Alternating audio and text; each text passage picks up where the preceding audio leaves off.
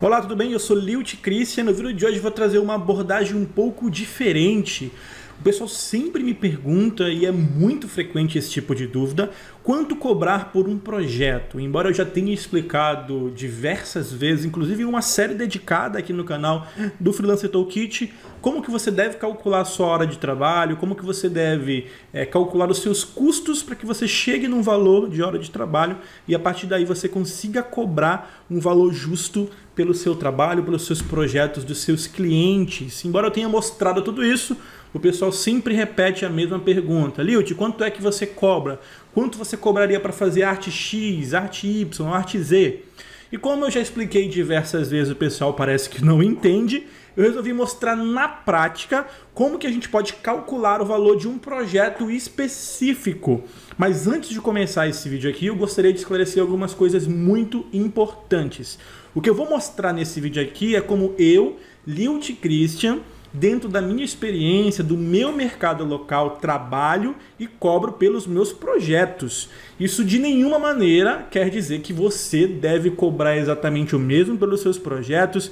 Eu digo isso porque depois o pessoal chove aqui nos comentários falando: ah, mas é um absurdo, ninguém paga por isso, ah, porque o mercado está prostituído, ah, porque eu duvido você fazer o cliente pagar. Isso aí depende de você, tá?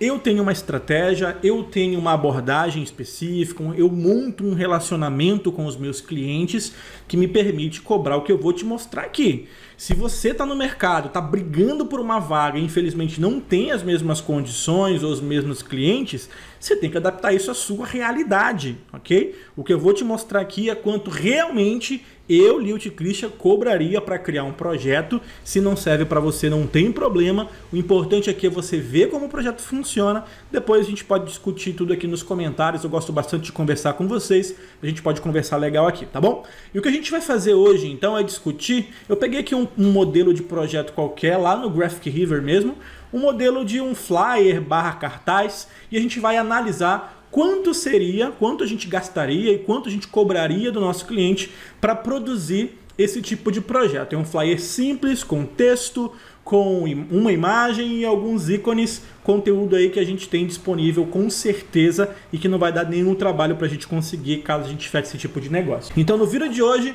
eu vou te mostrar quanto que eu cobraria e como eu comporia o preço para a composição desta peça, ok? Para esse vídeo aqui, eu vou utilizar duas planilhas que compõem o Freelancer Toolkit. Se você não conhece o Freelancer Toolkit, é o meu conjunto de documentos, né, onde você pode, onde você encontra, na verdade, uma série de templates, planilhas, arquivos prontinhos só para você editar e adequar a sua rotina. Tem também aí dois cursos gratuitos para quem adquire o Freelancer Toolkit. E se você tiver interessado em comprar o Freelancer Toolkit, o link está aqui na descrição desse vídeo. É só acessar aí freelancer.loja.design e você tem mais informações sobre o Freelancer Toolkit, ok? Então nós vamos usar aqui duas planilhas que estão disponíveis lá no meu Freelancer Toolkit, que é a planilha de custo, é, de cálculo de custo de horas de trabalho, que inclusive eu mostrei como criar essa planilha aqui, e também a planilha de orçamento com desconto. A gente tem duas planilhas de orçamento lá no clube do, lá, na, lá no Freelance Toolkit, uma com desconto e outra sem desconto. Bom, o primeiro passo antes de a gente começar a prestar qualquer serviço, claro, partindo do ponto de que você tenha experiência, de que você saiba o que você está fazendo, né? É a gente encontrar o nosso custo de hora de trabalho. E como eu sempre menciono aqui, a sua hora de trabalho, o preço que você vai passar para o seu cliente depende diretamente do seu custo, ok? O pessoal sempre pergunta no Facebook, me pergunta por mensagem, me pergunta por e-mail. Lilt, quanto é que você cobra? Como é que você faz para cobrar? E o pessoal quer que eu dê uma fórmula pronta. Ah, você tem que cobrar X por um cartão, Y por isso, é Z por aquilo. Não é assim que funciona. Eu vou te mostrar aqui passo a passo como eu faço o cálculo de hora trabalhada e você faz isso aí como você quiser, tá bom? Então, abrindo aqui a, a, planilha de cálculo de, de cálculo de custo de hora de trabalho, eu forneci aqui na primeira parte da tabela, como a gente aprendeu lá naquele vídeo onde eu ensinei como a planilha funciona, os meus custos com equipamentos. Eu fiz um, um, um levantamento rápido aqui, tá? Assim, por alto, Se eu fizesse um levantamento mais detalhado, provavelmente ia colocar mais coisas aqui, porque tem lente, iluminação, tem uh, equipamentos, acessórios, um monte de coisa que precisaria colocar aqui. Mas eu coloquei computador, eu investi 2.500 no meu computador, com monitores, teclado, mouse, mesa gráfica, câmera fotográfica, HD externo, impressora, outros, uh, sei lá, tinta de impressora, outros equipamentos, uh, mouse e alguma coisa nesse sentido, e um notebook também que eu comprei para compor aí o meu equipamento. Então, aqui na nossa planilha do Flans Toolkit, a gente coloca o valor desse equipamento e a sua vida útil. Em quantos anos eu vou precisar trocar esse equipamento? Então, aqui em 5 anos eu troco o computador, o restante em 3 anos e os outros em 5 anos, ok? Aqui embaixo, eu adicionei os meus custos fixos, o aluguel, eu pago R$ 1.600 de aluguel, esse é o valor real. Energia 230, dá uma oscilada, mas você pode fazer mudar isso aqui todos os meses. Telefone, internet, Transporte, eu trabalho em casa, então eu não, não, coloquei transporte. Se você quiser colocar, você pode colocar. Assinatura da Creative Cloud, assinatura da Corel eu não tenho, eu comprei o Corel. Ele entraria aqui em custos de equipamentos, ou, ou então eu precisaria dividir aqui o valor do Corel, né? Vamos, vamos fazer um cálculo aqui? Eu paguei pelo Corel 199 reais, um Corel Draw X7, tá bom? Vamos supor que eu troque ele depois de 3 anos, dividido por 3. Então dá 66 reais por ano, dividido por 12, vai dar 5 reais e 52 centavos por mês, 5,52 para eu ter o core original. Olha aí, tem gente que reclama e usa pirata, né? Bom, o Office 365, 16 reais por mês, hospedagem de site, domínio, essas coisas, 200 reais. Material para escritório, que eu coloco clipe, caneta, grampeador, o que for, por mês eu gasto em torno de 50 reais. E eu tenho aqui um custo fixo mensal de 2.000, mas esse aqui vai dar 2.846,52. Isso aqui é mais ou menos o que eu, Lilt Christian, gasto para trabalhar, ok? Fazendo aqui a média de trabalhar 20 dias por mês e 5 horas por dia, é uma jornada de trabalho bem confortável, bem legal, bem tranquila. E é, digamos que eu trabalho, aqui ele calculou né, 100 horas por mês, ele já está me dando aqui o meu custo por hora de trabalho. Então, cada hora que eu trabalho, eu gasto R$ 28,47 trabalhando esse período aqui. Em seguida, aqui embaixo a gente coloca no, o nosso percentual de lucro mais uma margem negociável. Vamos supor que você é modesto, você quer gastar e quer ter 100% de lucro sobre o seu gasto. Então você vai gastar 28 e vai lucrar 28 também, ou seja, vai dar aí 56,93 reais. Você quer, quer mais? Coloca 120. Fica aí a seu critério novamente. Isso aqui depende de uma análise do seu mercado, de quantas pessoas os, os seus concorrentes ao seu redor estão, te co estão cobrando dos seus, é, dos seus clientes, e aí você faz uma média, coloca a sua margem de lucrar, caramba, tá, esse mês está pegado, ou sei lá, ah, esse mês eu preciso é, recuperar as minhas vendas, eu preciso dar um, um preço mais acessível para o meu cliente, abaixa aqui para 100%, você mexe sempre na sua margem de lucro, porque o custo você não mexe. Isso aqui você não mexe de jeito nenhum, é o que você vai gastar. Você só brinca na sua margem de lucro. Quer lucrar, vai precisar é, vender mais barato? Diminui a margem de lucro. Precisa vender mais caro, ganhar mais? Aumenta a margem de lucro. Não mexa nos seus custos, a menos que o custo mude, é claro. Então vamos supor que eu tenho aqui 120 reais, onde realmente eu quero 100%, 20% no caso, eu quero 100% de lucro e deixo aí 20% para fazer aquela média com o cliente e tal. E aí eu vou ter um valor comercial por hora de R$ 62,62. Então, para qualquer projeto que eu for desenvolver, a minha hora comercial custa R$ 62,62, ok? Feito isso, calculada a sua hora de trabalho, você tem uma referência muito boa para quanto você pode cobrar pelos seus projetos. E um detalhe interessante: partindo do pressuposto que nem sempre você vai ter trabalho, algumas vezes você pode ficar ocioso, pode não ter ninguém para atender, você pode trabalhar dentro da sua margem de lucro algo que te dê algum, um certo conforto. Trabalha com 150%, com 120%, porque aí você tem uma margem legal de lucro para você ganhar e ainda ter alguma coisa para ir compensando as horas ociosas.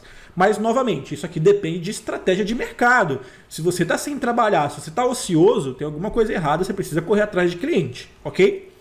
Geralmente, se você tem uma boa carta de clientes, você nunca está tá sem, sem trabalho, né? Sempre está atendendo um aqui, um ali, uma capa para Facebook, alguma coisa nesse sentido, fazendo trabalhos menores que vão compensando aí o trabalho durante o mês, ok? Então a gente tem aqui o valor de 62 e 62, considerando esses custos e essa margem de lucro. E claro, essas configurações aqui de dia. Essa tabelinha está prontinha lá no Freelance Toolkit, você pode usar é só acessar o link aí e fazer a sua aquisição, ok?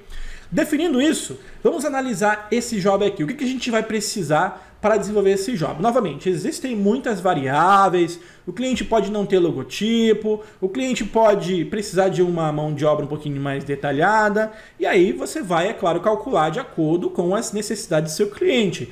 Ah, o cliente precisa, tem um logotipo, mas está, sei lá, em baixa definição, precisa vetorizar? Coloca lá na quantidade de tempo que você gasta para fazer a vetorização. Tudo isso vai compor seu orçamento. Mas vamos supor que o cliente já tem um logotipo bonitinho, a gente só precisa construir o flyer e, e adquirir essa imagem aqui, ok? Você tem duas escolhas. A primeira é você utilizar recursos gratuitos, você pode fazer isso, não existe nada no mundo que te impeça em utilizar recursos gratuitos, como coleções de ícones ou imagens de bancos de imagens grátis, é claro, observando sempre a licença é, do seu banco de imagem, mas a gente vai usar como exemplo que você vai adquirir pelo menos a imagem, tá bom? Para a gente ter o que trabalhar dentro do nosso projeto. Bom, eu vou acessar aqui o Fotolia. Tá? O Fotolia é um dos bancos que eu utilizo para comprar imagens e para esse projeto a gente vai precisar de uma imagem, ok? Vamos lá, eu vou acessar aqui o Fotolia, prontinho, vamos pegar aqui, colocar aqui Business, escrevi errado ainda por cima, né? Falta um S aqui, Business. E vamos pegar uma imagem qualquer aqui, vamos pegar essa imagem aqui de referência só para a gente ter uma ideia de quanto custam as imagens no Fotolia. Olha só, se você comprar um pacote, uma um pacote de cinco imagens para uma imagem mediana, que é o ideal para a gente colocar ali naquele projeto, ou pode ser imagem grande também, mas por imagem mediana você paga 2,5 dólares. Então você sabe que para você comprar essa imagem aqui você vai gastar 2,5 dólares, ou uma imagem parecida. Se você comprar utilizando créditos no Fotolia, uma imagem mediana custa 6 créditos, ou seja, 6 dólares não compensa. É melhor fechar um pacote de cinco imagens, ok? Aqui é pacote mensal. Se você usa com muita frequência, é claro, você vai ter esse recurso. Se você não usa com frequência, compra só uma imagem por 6 dólares. A gente vai ver quanto é que fica comprando só uma imagem, ok? Agora, se você quiser utilizar imagens gratuitas, eu recomendo que você use o Pexels. No Pexels você encontra imagens grátis que você pode utilizar para fins comerciais. Você não paga nada. Ela tem imagens aqui que podem ajudar a gente aí no desenvolvimento daquele projeto. É claro que a variedade é menor, uh, você precisa perder mais tempo procurando, mas por isso a gente vai levar em consideração que a gente vai comprar uma imagem no Fotolia por 6 dólares, ok? Vamos começar o nosso cálculo. Eu abri aqui a minha planilha de orçamento, que também está na, no Freelancer Toolkit, e vamos começar a orçar o material para esse nosso cliente, ok? Eu vou preencher só a tabela, porque os outros dados aqui você pode mexer à vontade depois. Vamos supor lá que desde que o cliente faça a solicitação, o atendimento, uh, tira dúvidas uh, e a concepção do projeto, honestamente, gente, vamos lá. Esse trabalho aqui, eu não gasto nem meia hora para construir, tá? Nem meia hora, nem 20 minutos. É rapidão. Gasto, gasto, vamos supor que a gente gasta meia hora. Então a gente vai colocar aí no nosso projeto que a gente vai gastar uma hora e meia desde o atendimento, tirar dúvidas, até a finalização do projeto. Sendo que uma hora é só de atendimento e meia hora é para a gente construir o projeto, ok? Eu estou utilizando isso aqui como referência, não quer dizer que eu vou copiar isso aqui sempre que eu for fazer um projeto, não. Utilizando como referência, depois que a gente tem a ideia, já fica muito mais claro para a gente fazer o ajuste. Então, uma hora e meia, sendo que uma hora de atendimento e de possíveis alterações depois do projeto enviado, e meia hora para a gente construir o material propriamente dito. Tá bom para você? Se não, coloca mais, duas horas, três horas, fica a seu critério. Mas isso aqui é mamão com açúcar, rapidinho que a gente desenvolve. Então vamos supor que a gente gaste uma hora e meia, ok? Então aqui, olha, mão de obra, mão de obra. Qual que é o custo da minha mão de obra? 62 e 62, tá? Vamos lá? Então aqui, ó, 62,62 ,62, e eu vou gastar 1.5, que seria uma hora e meia para construir esse projeto. Então a gente tem aqui 93 reais é, de mão de obra, ok? E aí a gente tem a compra de uma imagem. É a única coisa que a gente vai precisar comprar para esse projeto, porque o restante a gente vai usar recurso gratuito, pode ser alguma coleção de ícones gratuitos que a gente tem na internet. Se você quiser, você pode desenhar os ícones, mas eu acho perda de tempo, vai. Você encontra muitos ícones legais prontos para você usar e não há mal nenhum em você utilizar ícones. Você não vai precisar redesenhar sempre que você vai fazer um projeto, a menos que você já tenha desenhado e já tenha sua própria coleção de ícones guardadinha no seu computador, beleza?